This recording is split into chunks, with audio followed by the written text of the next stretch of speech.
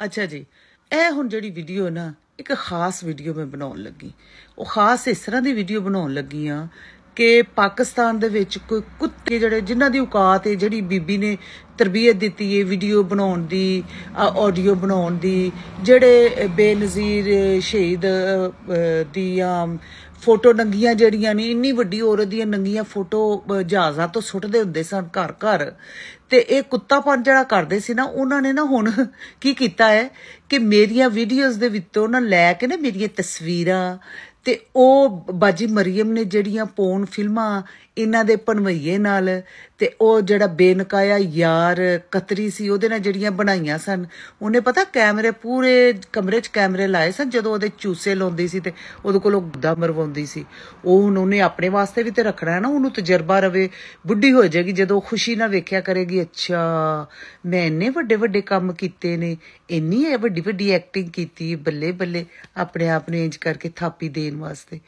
ਉਹ ਵੀਡੀਓ ਜਿਹੜੀਆਂ ਨੇ ਨਾ, ਉਹਨਾਂ ਦੇ ਉੱਤੇ ਨਾ ਹੁਣ ਕਦੀ ਮੇਰੀ, ਕਦੀ ਉਹ ਆਪਣੀ ਭੈਣ ਦੀ, ਕਦੀ ਉਹ ਆਪਣੀ ਧੀ ਦੀ ਫੋਟੋ ਲਾ ਕੇ ਨਾ ਮੂੰਹ ਦੀ ਤੇ ਵੀਡੀਓ ਬਣਾ ਬਣਾ ਕੇ ਨਾ ਬਾਹਰ ਲੋਕਾਂ ਨੂੰ ਭੇਜਦਾ। ਕੁਝ ਮੇਰੀਆਂ ਦੋਸਤਾਂ ਨੂੰ ਭੇਜਦੇ ਕੁਝ ਇੱਧਰ ਉੱਧਰ।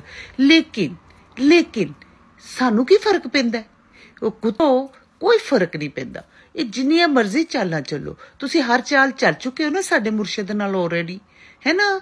ਤੇ ਹੁਣ ਨਾ ਤੁਸੀਂ ਕਦੀ ਕਦੀ ਯਾਰ ਇੱਕ ਕੰਮ ਕਰ ਲਿਆ ਕਰੋ। ਮੈਨੂੰ ਤੇ ਫ਼ਰਕ ਨਹੀਂ ਪੈਣਾ ਕੋਈ ਵੀ। ਤੁਸੀਂ ਜਿੰਨੀਆਂ ਮਰਜ਼ੀ ਮੇਰੀਆਂ ਪੌਣ ਵੀਡੀਓ ਬਣਾਈ ਜਾਓ। ਇੱਕ ਉਹ ਦੱਲਾ ਹੈਵੇ ਨਾ ਆਪਣਾ ਯੂਰਪ ਚ ਰਹਿੰਦਾ ਜਿਹੜਾ, ਉਹ ਚੱਠਾ ਦੀ ਧੀ ਦੀ ਸ਼ਕਲ ਹੈ ਉਹਦੀ ਉਹਦਾ ਮੂੰਹ ਹੀ ਖੋਦਾ ਹੋ ਗਿਆ ਆਪਣੀ ਧੀ ਨਾਲ ਚੱਟ ਚੱਟ ਕੇ। ਉਹਨੇ ਮੁੱਛਾਂ ਤੇ ਦਾੜੀ ਉਡਾਤੀ ਹੈ ਉਹ ਸਾਰੀ ਉੱਥੇ ਜਾ ਕੇ ਲੱਗ ਗਈ। ਤੇ ਉਸ ਤਰ੍ਹਾਂ ਦਾ ਤੂੰ ਕੋਈ ਹੋਰ ਗੱਲ ਆਇਆ ਹੋਵੇਗਾ ਕੋਈ ਫ਼ਰਕ ਨਹੀਂ ਪੈਂਦਾ। ਜਿੰਨੀਆਂ ਮਰਜ਼ੀ ਬਣਾਓ। ਲੇਕਿਨ ਅਸੀਂ ਨਾ, ਇਮਰਾਨ ਖਾਨ ਦਾ ਬੱਲਾ ਤੁਹਾਡੇ ਪਿੱਛੇ ਵਾੜਨਾ ਹੀ। ਵਾੜਨਾ ਤੁਹਾਡੀ ਬਾਜੀ ਦੀ ਪਹਿਲੋ ਪਲਾਸਟਿਕ ਦੀ ਹੁਣ ਨਾਮ ਰੱਖਣਾ ਹੀ ਰੱਖਣਾ ਉਹ ਹੁਣ ਨਾ ਗਾਉਣੀ ਗਸ਼ ਤੇ ਪਲੀਜ਼ ਬਣਾਓ ਜਿੰਨਾ ਦਿਲ ਕਰਦਾ ਪਰ ਇੱਕ ਮਸ਼ਵਰਾ ਲੈ ਲਓ ਮੇਰੇ ਕੋਲੋਂ, ਛੋਟਾ ਜਿਹਾ। ਕਦੀ ਕਦੀ ਨਾ ਉਹਦੇ ਤੇ ਆਪਣੀ ਧੀ ਦੀ, ਆਪਣੀ ਬਾਜੀ ਦੀ ਫੋਟੋ ਵੀ ਲਾ ਦਿਆ ਕਰੋ।